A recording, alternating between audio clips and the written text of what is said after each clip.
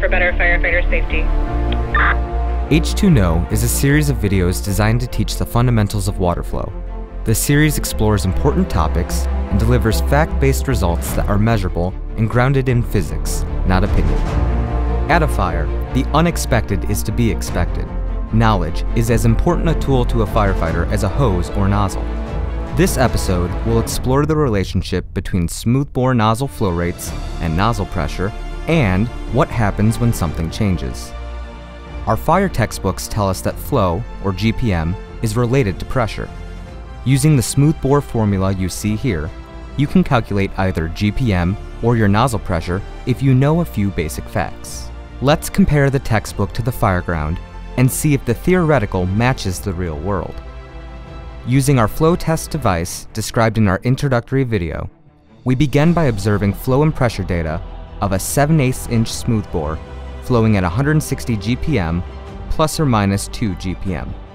Here, our 7 8 inch smoothbore is flowing at about 160 GPM and showing a nozzle pressure of about 50 psi.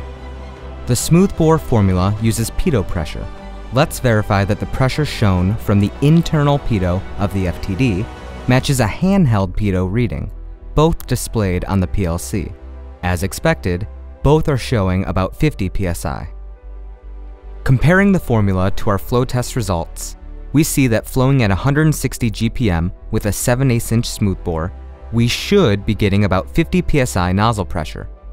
As you can see, reality matches the formula. Now let's try the same test, but here we divide the flow in half, from about 160 GPM to about 80 GPM using a 7 8 inch smoothbore again. Such a flow change could happen because of improper hose deployment, kinks around door frames, tight stairwells, windowsills, or inadequate pump discharge pressure. It may seem reasonable that when the flow is divided in half, the pressure is divided in half as well. But is it really true? No, nozzle pressure isn't divided in half. Dividing the flow in half actually divides the nozzle pressure by 4. The textbook formula predicted this result, and our flow test device confirmed it.